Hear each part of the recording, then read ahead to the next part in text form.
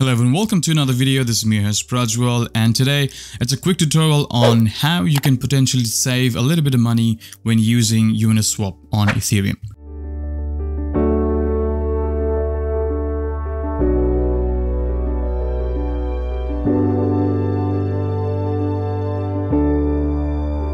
For example, if you are making transactions on Uniswap, what you want to do is you want to wrap your ETH, right? So for example, what you want to do is you want to convert your ETH to wrapped ETH, which is basically ETH, but it's wrapped. And what happens is this saves you, um, saves you a little bit on every transaction. So for example, I want to purchase some Chainlink using my ETH. So if I swap, it's showing me 16, 16 Chainlink, confirm swap. As you can see, it's showing me $108 for gas fees, right?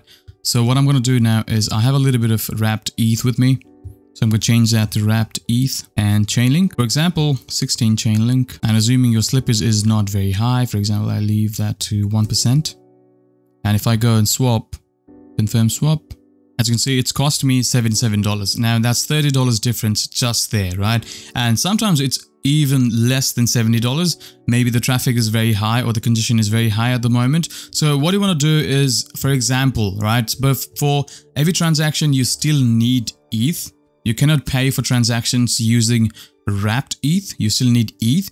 So for example, what I do is every time I get a big chunk of ETH into my wallet to make transactions or to purchase something, what I do is I leave some for gas fees. For example, if I plan on doing a lot of transactions and the market is hot, then I, I, I should be expecting to pay at least 60 to $70 minimum for transaction, right? If I'm willing to trade, but I try not to trade very frequently, especially when the market is very hot. I try to plan my transactions and only take profits and I try not to actively trade on Uniswap.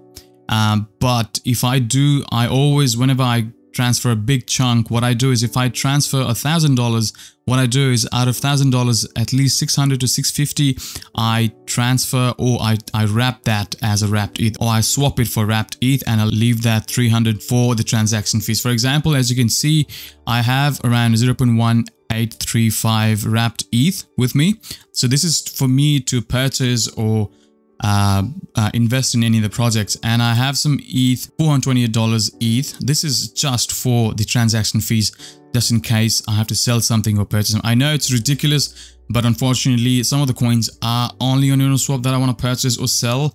So uh, if I purchase something, I want to make sure, I always make sure that it is good, invest good investment or I'm buying that for a bit of a long-term gains. Uh, it's it's almost impossible to swing trade on Uniswap if you are not a big investor, unless you are playing in thousands of thousands of dollars. Uh, swing trading is not a possibility, but this process will save you a lot of gas fees um, as you've seen. All right, so that's how you can save a little bit of gas fees by using Uniswap on ETH Layer 1.